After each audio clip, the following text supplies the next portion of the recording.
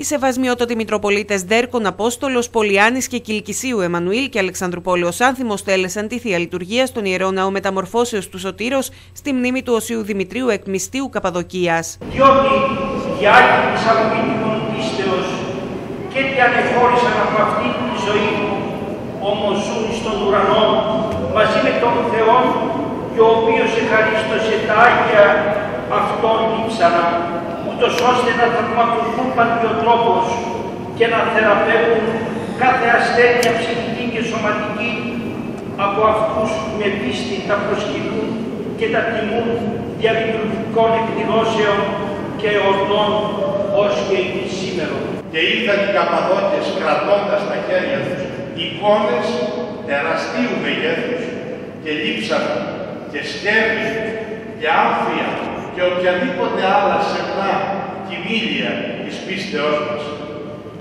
Και ήταν αλήθεια αυτό το οποίο είπαν.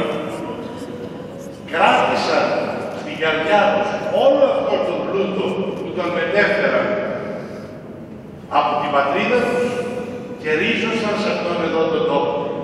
Όταν πριν χρόνια είχαμε πάει ίσως από τα πρώτα εκδρομικά λεωφορεία μαζί με τον τότε δήμαρχο τον κύριο Αλεξανδρή στο μισθή της Καπαδοκίας τότε είδαμε τον ναό εκεί που έχει 12 τρούλους και είπαμε τώρα καταλαβαίνουμε θυμάστε γιατί οι Καπαδόκες στην Αλεξανδρούπολη έλεγαν η εκκλησία μας να είναι μεγάλη τόσο μεγάλη σαν αυτή που να αφήσαμε πίσω στο μισθή όταν εδώ γύρω υπήρχαν μικρά, λίγα σπίτια. Τα λείψανα του Οσίου Δημητρίου από το μισθή βρίσκονται μόνιμα στο προσκυνητάρι του Ιερού Ναού Μεταμορφώσεως του Σωτήρος, όπου μεταφέρθηκαν τον Ιανουάριο του 2012 από την Εκκλησία του Αγίου Δημητρίου Ιάννας με πρωτοβουλία του Συλλόγου Καπαδοκών Εύρου σε συνεργασία με τη Μητρόπολη. Αλλά όμως αυτός ο Άγιος είναι ένας δικός μας που κρατήθηκε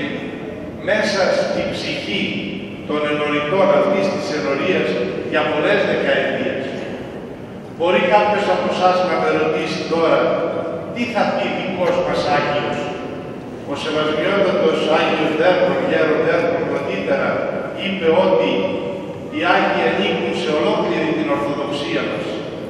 Πώς εμείς λέμε ότι είναι δικός μας; Το λέμε γιατί πριν από τέσσερα χρόνια σε αυτόν εδώ τον ναό τοπική μας εκκλησία αποδέχτηκε επίσημα αυτόν τον Άγιο που οι Καπαδόκες πρόπονοι μας τον έφεραν στην καρδιά τους και στα χέρια τους κρατώντας τον όταν έρχονταν σε εκείνα τα δύσκολα χρόνια από τις αλυσμόνητες πατρίδες διωγμένοι αφήνοντας πίσω την καρδιά τους αλλά έχοντας μπροστά στα μάτια τους ένα όραμα πως όπου και να μας πάνε, σε όποιο τόπο και να μας εγκαταστήσουν, εμείς εκεί θα ριζώσουμε.